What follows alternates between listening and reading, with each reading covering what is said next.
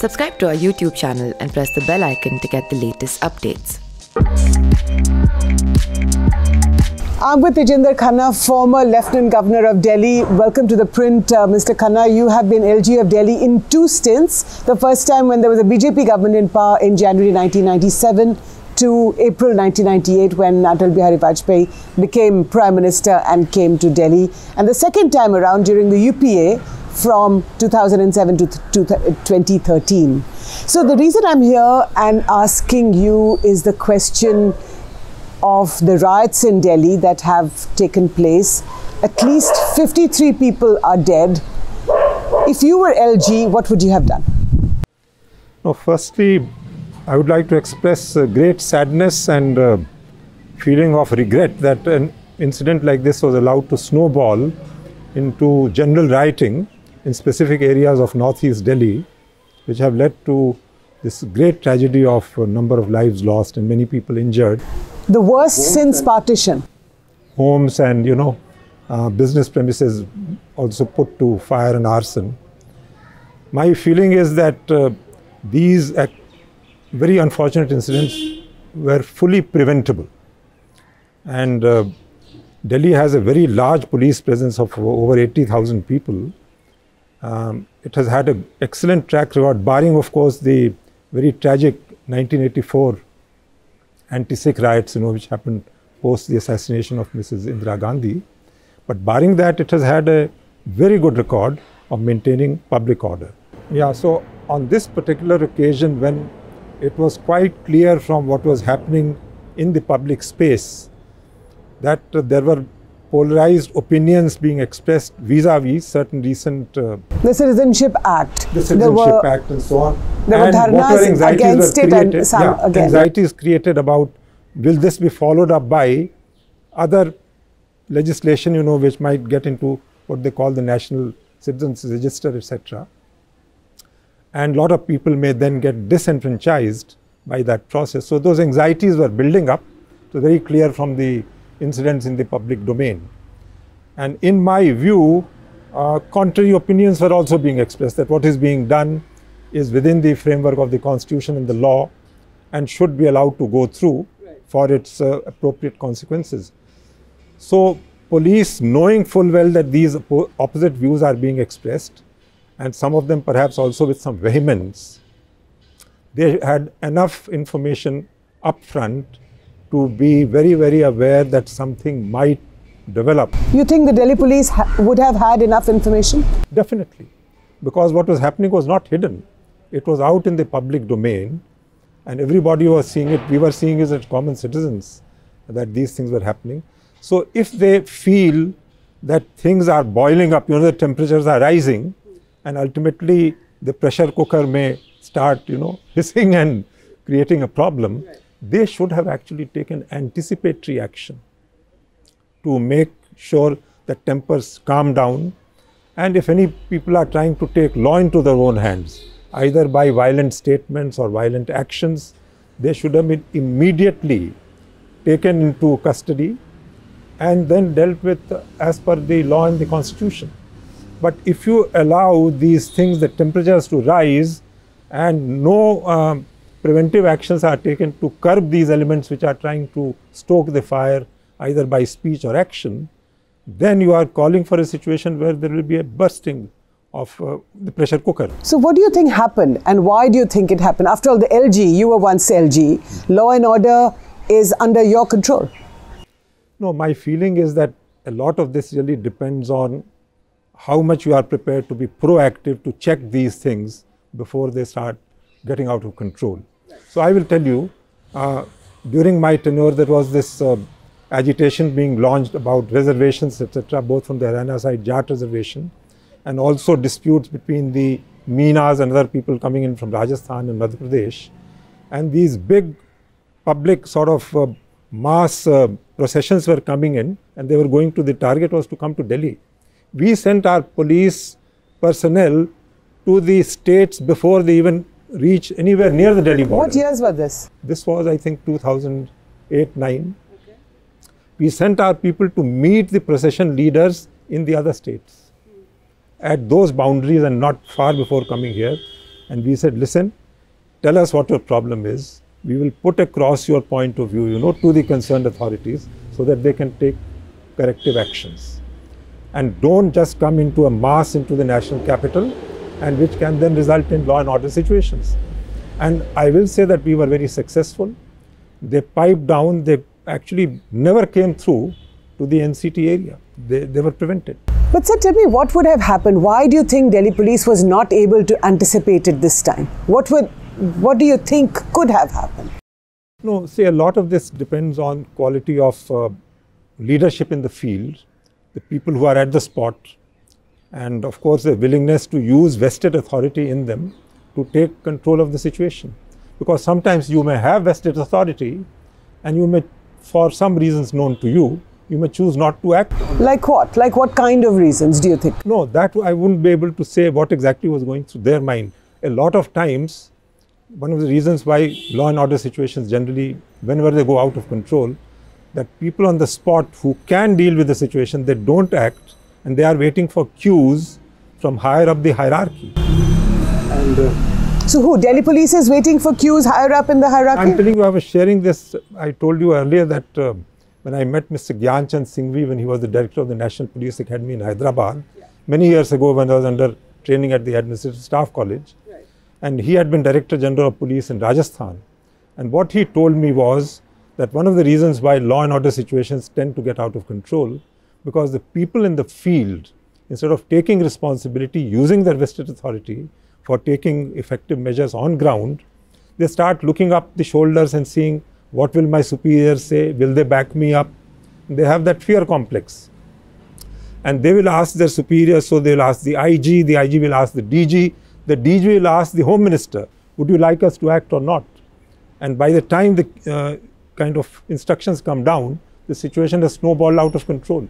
So I, he's telling me 1982, which is years and years ago, that when you have field officers, they must be trained, encouraged, and uh, basically given the confidence that they can act and they will be supported by superiors if they have acted bona fides. But the story is if from 1982 to 2020, it's almost 40 years, 38 years. The story isn't much different today.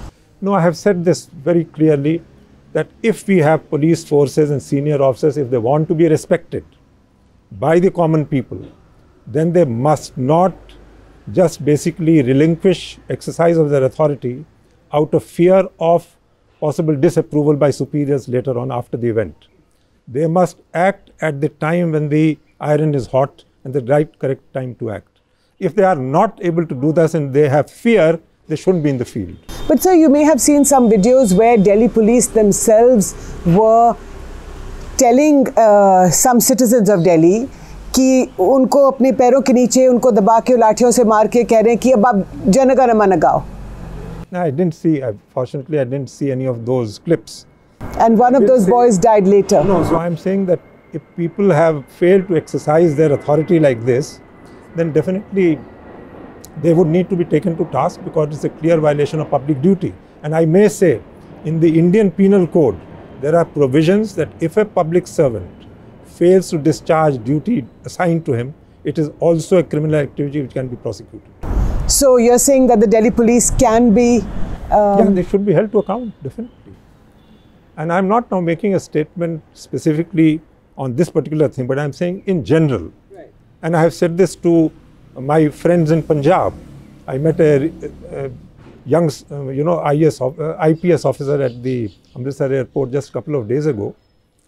And uh, the question asked of me was, why aren't our, our police officers being respected these days?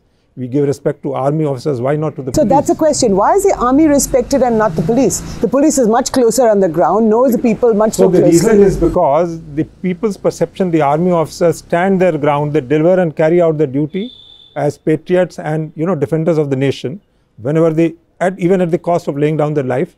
Whereas when the police officers are there, they are often uh, reluctant to do their constitutional duty and legal duty and simply because they want to curry favor with somebody in the hierarchy, somebody maybe in the extraneous space around them.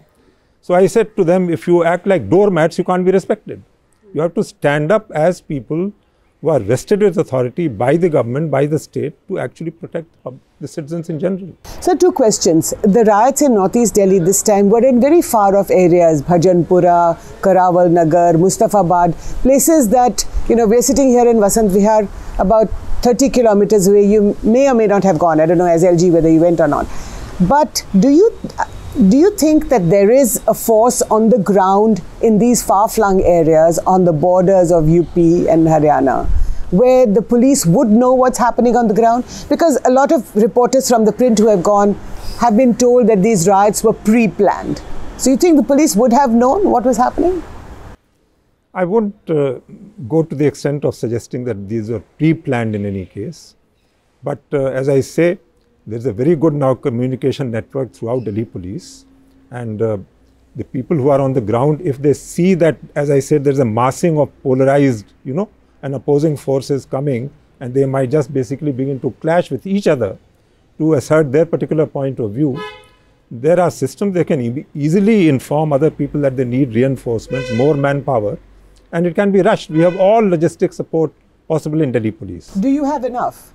To send than to enough. far, far off Yes, yes, places. there is enough. Because adjoining areas, we can easily divert people from the strength of one. Because I remember in the in my first term, the number of police stations in Delhi were around 95.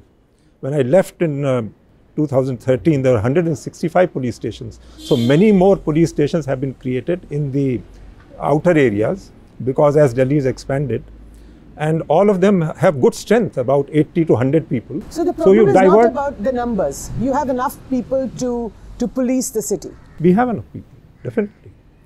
And as I say communication system. So if there had been anticipation and uh, sort of advance action to see that we have enough strength of force to prevent these two groups of people clashing.